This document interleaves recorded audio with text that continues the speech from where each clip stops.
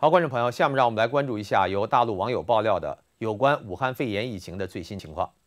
武汉新洲区的阳逻街道因为电厂复工和集贸市场交叉感染，二月二十九号确诊了二十个病例，约二百人被隔离。当地的管控措施继续升级。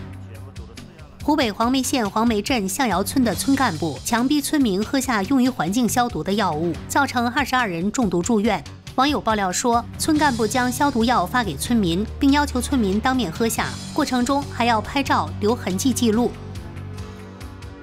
二月二十九号，大纪元新闻网披露一份辽宁省朝阳市的官方文件，内容显示，辽宁官方要求朝阳市卫健委相关人员签订保密承诺书，并销毁新冠肺炎疫情数据。